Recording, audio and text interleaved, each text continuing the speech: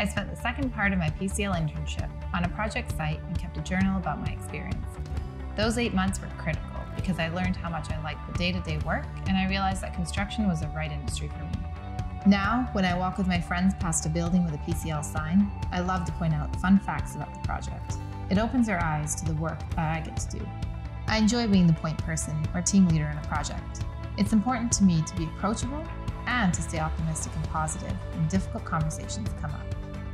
There will always need to be a decision maker, and I'm happy to be that person. Not everyone agrees with every decision, but my goal is to keep the team morale up and make sure everyone is collaborating and moving in the same direction. I'd like to build my leadership skills to the point where I've mastered what I do and can mentor and teach others. I want to be an accommodating leader who knows when to step back and encourage others to grow. And PCL has given me all the opportunities and the right support to get. I'm Saj Sangha, and I'm honing my leadership skills at PCL.